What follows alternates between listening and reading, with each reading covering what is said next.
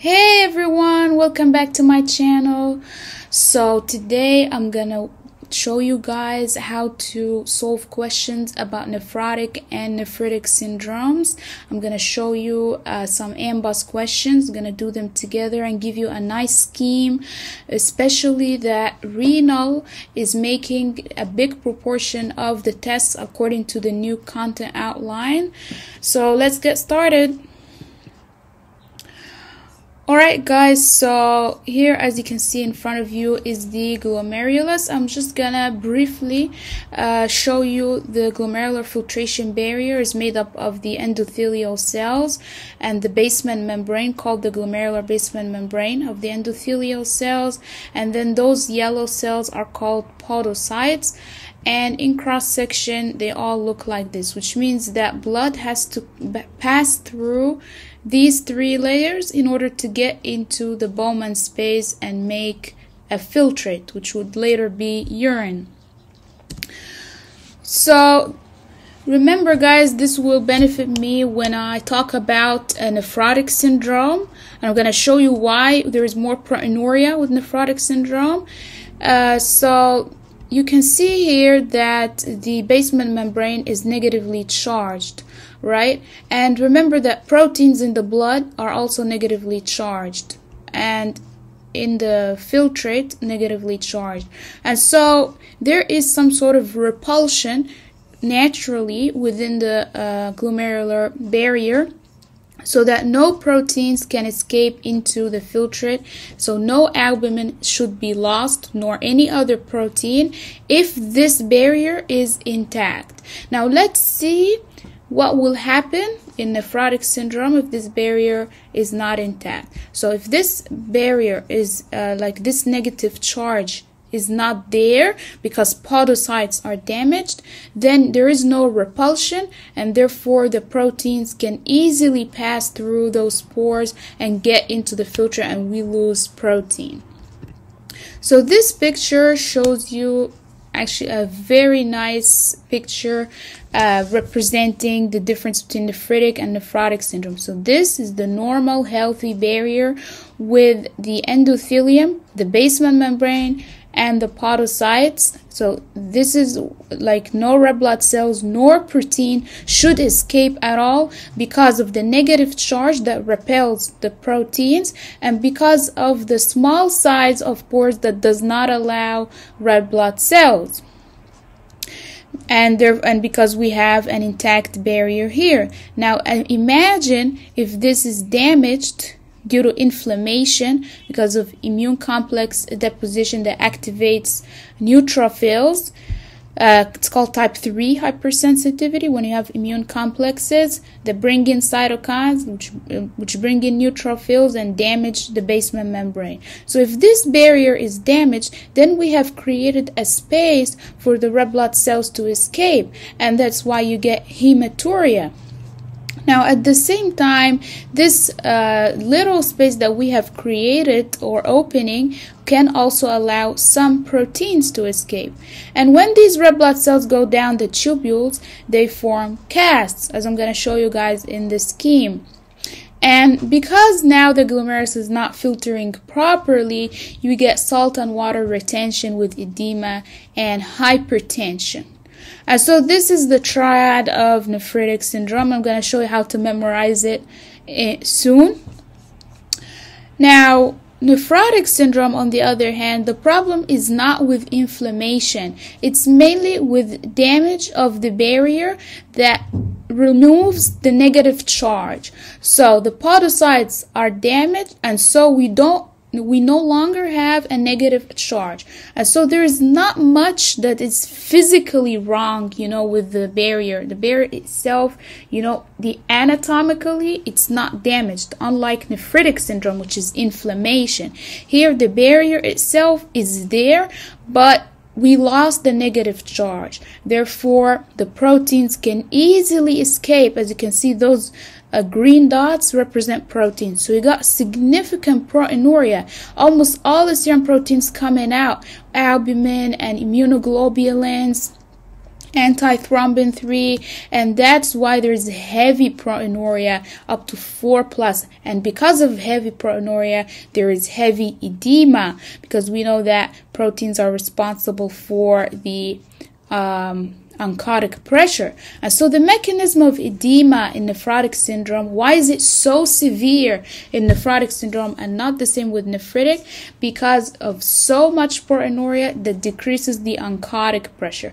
But the cause of edema in nephritic syndrome, which is not that much as in nephrotic, but there's still some edema.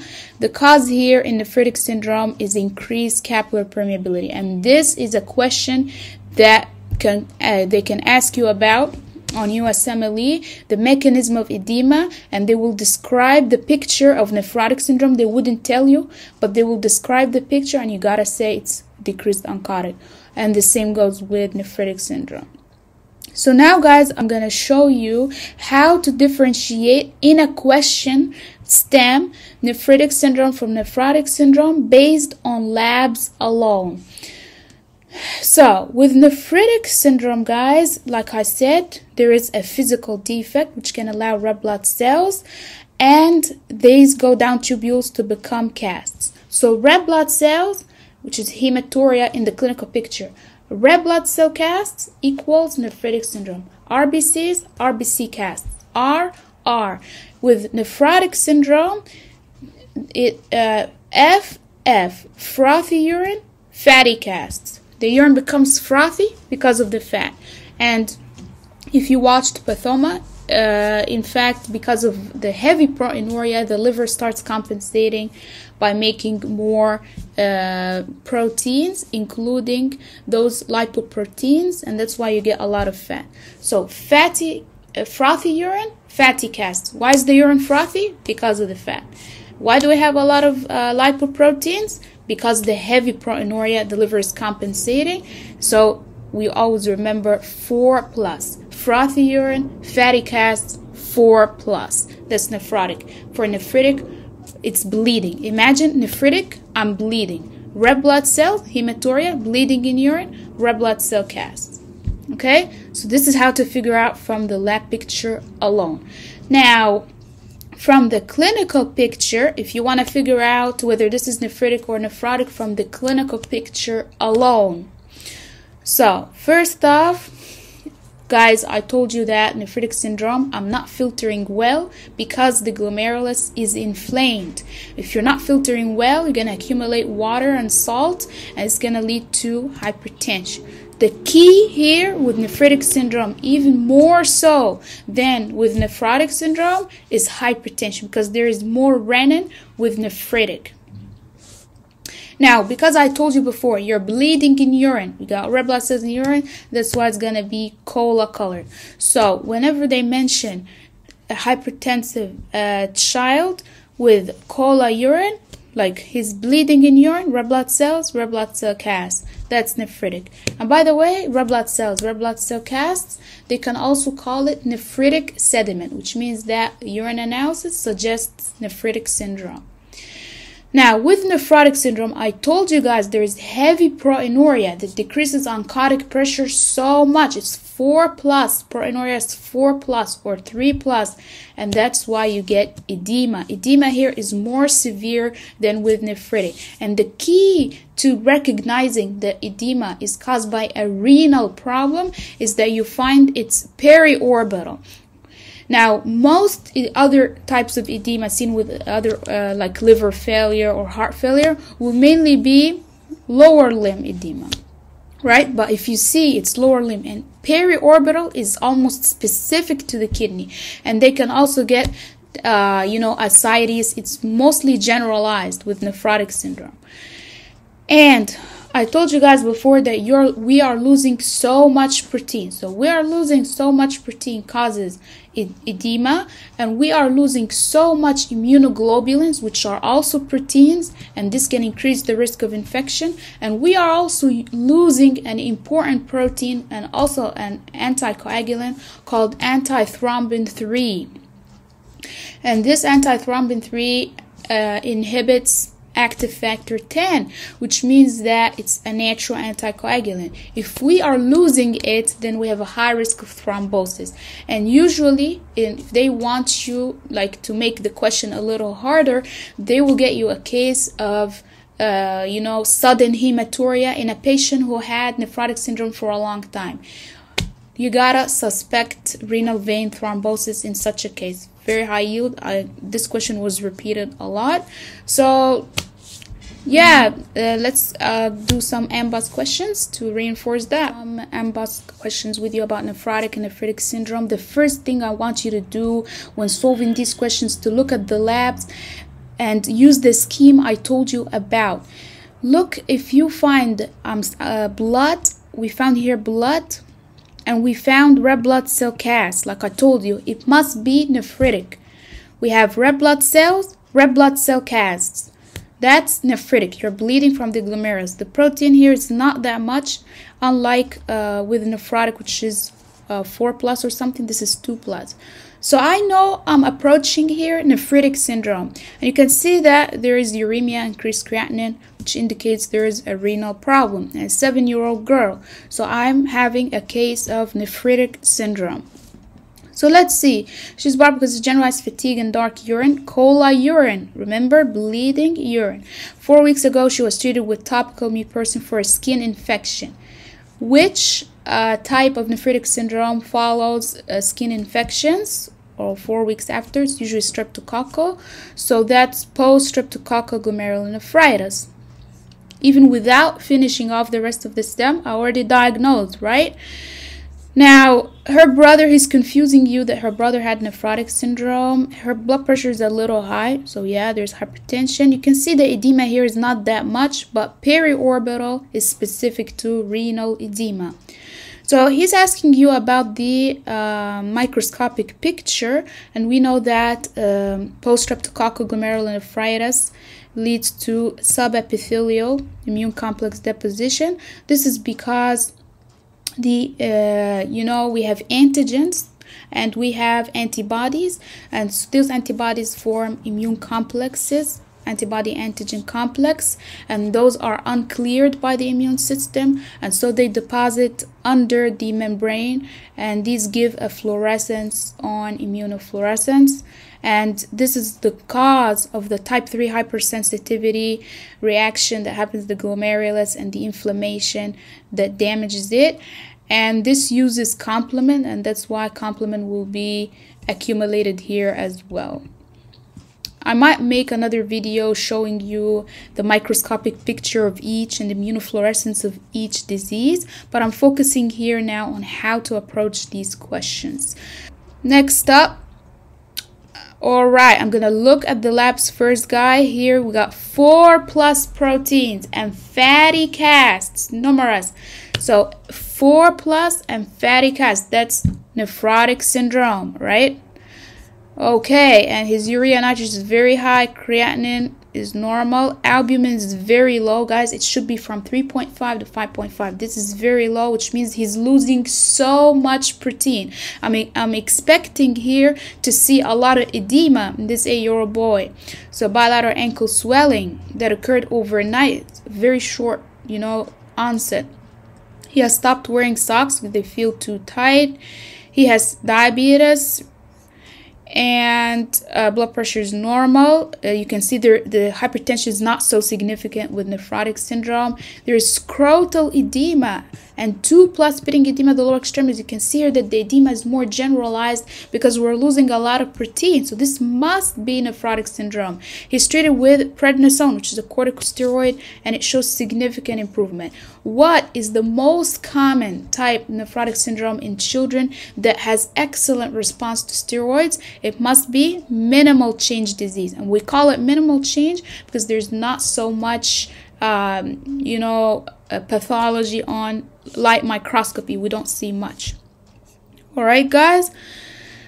Um, next up. So this last question is so tricky and it has the part I told you about with nephrotic. I'm going to show you guys now that 4 plus protein must be nephrotic syndrome regardless of the level of blood. If you see 4 plus, then it must be nephrotic, all right? The protein to creatinine ratio in urine means like when it's that high, it's too high, it's 7, it should be less than 0.2. It means there's so much protein in urine versus creatinine. Like we know that creatinine is a waste product. It should be more than protein in urine. Like there should be no protein in urine and there should be a lot of creatinine in urine. But here it's kind of reversed, right? It indicates there is uh, proteinuria. And you see here guys we have hypoalbuminemia. We have in uremia and increased creatinine in serum. And lactate dehydrogenase is too high. Whenever you find high ldh you know cells are being damaged. It, whether it's infarction or hemolysis you know cells are being damaged when you see a high ldh so what's wrong here? What i've just figured out from this from labs alone is that this patient has nephrotic syndrome and has some sort of cell damage somewhere taking place. And he's telling you here that two weeks ago her serum creatinine concentration was 1.5 and her blood urea nitrogen was 19 which means they're getting worse right? You can see here the numbers. So what's the next step? This is the next step question. So a 28-year-old woman comes to the ER four hours after the sudden onset of bilateral flank pain and nausea, and she knows blood in her urine, which means she she didn't used to have that, and that indicates that it's actually nephrotic syndrome. She used to have nephrotic syndrome, and then suddenly she got this right, and gradually worsening edema she was diagnosed with membranous nephropathy five months ago. So she already has nephrotic syndrome for which is being treated, right? But only now, four hours ago, she's getting this. And this is what's causing her blood in the urine. Therefore, that's why I told you don't like uh, stress much on the blood you see here because once you see 4 plus protein, you know she has nephrotic syndrome. All right, blood pressure is not that high and a physical exam shows a distended abdomen because she's having ascites. It's a nephrotic syndrome, bilateral flank tenderness, and pitting edema. So what's wrong here?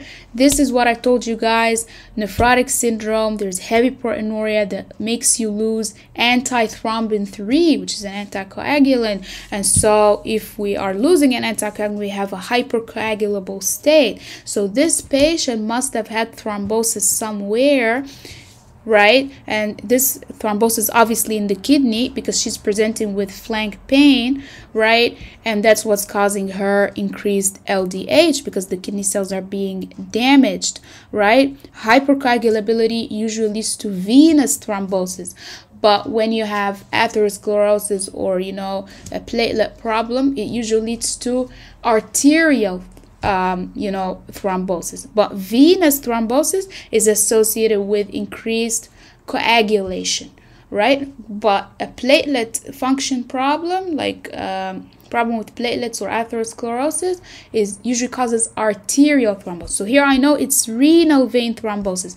She's presenting with bilateral flank pain, so it must be bilateral renal vein thrombosis. So how can we find that out? We should see a filling defect of contrast, but we know that uh, most contrasts are nephrotoxic. So what we can do in such a case is an, an investigation that does not require contrast, which is MR venography. This, guys, is a five hammer question and it deserves these five hammers. You first need to diagnose her as nephrotic syndrome and then find out she has renal vein thrombosis and then find out the the CT angio doesn't work or um, any of these that require contrast wouldn't work uh, or wouldn't be gold standard because of the contrast induced nephropathy.